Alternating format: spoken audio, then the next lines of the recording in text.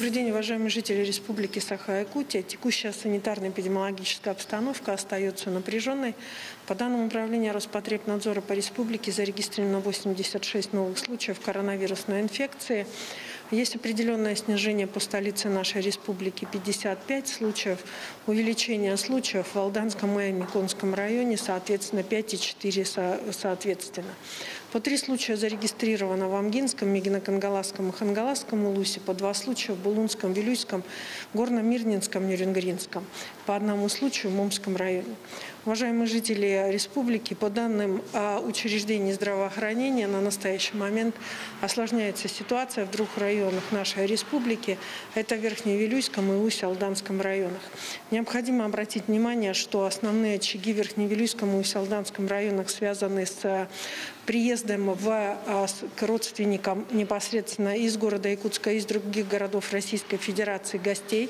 В связи с этим еще раз обращаем внимание на необходимость соблюдения норм, в том числе собственной безопасности через вакцинацию при условии того, что к вам, а, значит, соответственно, гости приезжают. Сегодня необходимо обратить внимание, что вакцинация является единственным способом для того, чтобы непосредственно предотвратить и не допускать очаги а, значит, и а, группы заболеваний. Те ситуации, которые сегодня у нас по данным учреждений здравоохранения возникают в Верхневилюйском и в Усть-Алданском районе, были разобраны на оперативном оперативном совещании с главами муниципальных образований. И выявлена тенденция, направленная на необходимость в обязательном порядке соблюдать санитарно-эпидемиологические требования и вакцинироваться тем семьям, которых приезжают, соответственно, гости, особенно в летний период. Те же правила необходимо соблюдать и при выезде из, соответственно, значит, республики и последующему возвращению. Кроме того, обращаем ваше внимание на то, что а, значит, учреждениями здравоохранения, центральными районными больницами отслеживаются все несовершеннолетние, прибывающие на соответствующие значит, на слега и районы республики.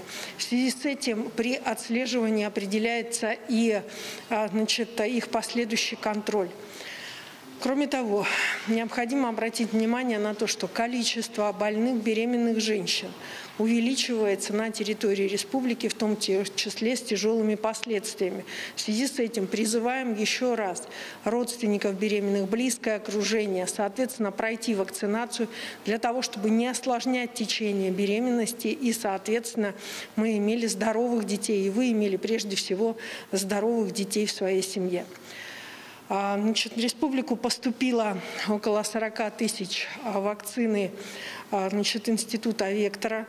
На 20 0 июня 2021 года вся вакцина, порядка 40 тысяч доз, будет распределена, опять же, по значит, районам республики. Вакцина носит наименование «Пивак Корона». Соответственно, очень многие у нас по записи наши учреждения здравоохранения записывались именно на эту вакцину. Поэтому, соответственно, приглашаем вас на соответствующее вакцинирование. Сегодня первую вакцину по республике получили 204 551 человек. Использовано, соответственно, без вот этой новой поступившей вакцины уже 92% от общего объема. И, соответственно, вот сегодня мы как раз говорим, что с утра поступила информация о поступлении вакцины и пивак. Поэтому все, кто был записан, еще раз повторяю, и, соответственно, значит, те, кто желает получить и пивак, могут обращаться в течение недели. Она будет во всех центральных районных больницах по республике Саха-Якутия. Уважаемые жители Республики Саха-Якутия, Управление Роспотребнадзора совместно с учреждениями здравоохранения обращает ваше внимание на то, что достаточно в жаркую погоду необходимо, соответственно, больше беспокоиться, в том числе и о своем самочувствии. Но самое главное, не запускать тяжелые случаи и не допускать значит, непосредственно тяжелых случаев относительно лиц старшего поколения. Сегодня а, тяжелые случаи, которые есть в наших больницах, они они достаточно серьезные, сложные, приводят к летальности. И нельзя сказать, что значит, сегодня мы бы могли сказать о том, что у нас не умирают люди от ковида. Количество летальных исходов у нас фиксируется практически каждый день. Давайте заботиться о своем здоровье, потому что при, значит, можно каким-то образом предотвратить это заболевание только путем вакцинации.